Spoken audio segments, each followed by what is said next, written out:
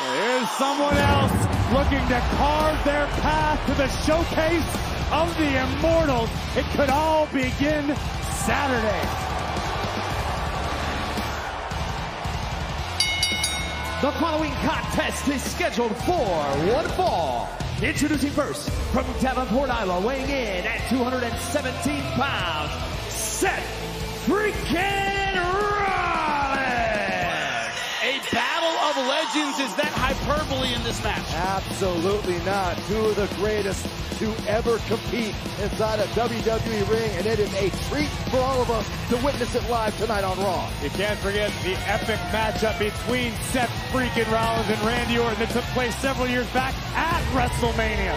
Tonight, Rollins needs to get past the Viper and into the Elimination Chamber where he will have the opportunity to once again become WWE Champion and march on to the most stupendous two-night WrestleMania in history at the top of the mountain.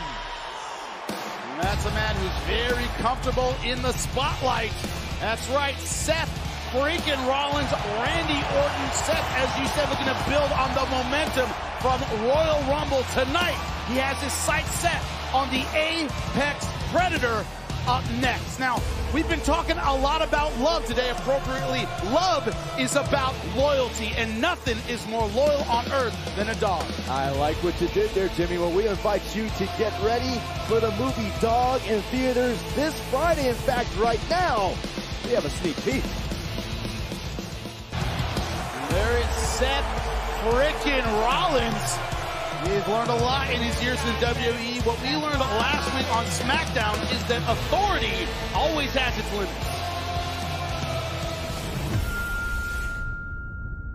It isn't just the opponents, it's the structure itself, is it not, Corey? Two men begin, four men in pods surrounding the ring to be released at regular intervals.